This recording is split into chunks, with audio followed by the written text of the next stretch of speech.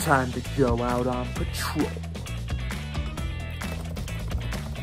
Dillin Thomas is the internet cop. God damn it, Dumbsville! We had that perp dead to rights! Why'd you let him walk?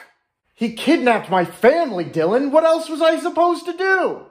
When you joined the DHTPD, you swore an oath to me and this department that you wouldn't let any internet crimes go, that you would serve and protect the citizens online. Now, I know how you feel. Sometimes I go on patrol out there at night and I wonder, will I not come home to my viewers and Patreon subscribers?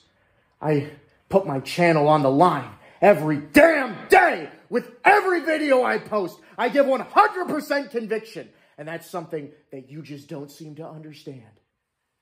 I've lost all respect for you, Dumbsville. Turn in your badge. We don't have badges, Dillin. This is just some stupid shit we do online for fun. And that's the exact kind of attitude that got you thrown off the force. Get out of my sight. You know what? Whatever, man.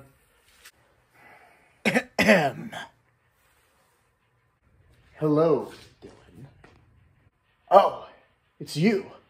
What do you want? Well, you see, I've run into a little bit of trouble, and I was hoping you could look the other way for me.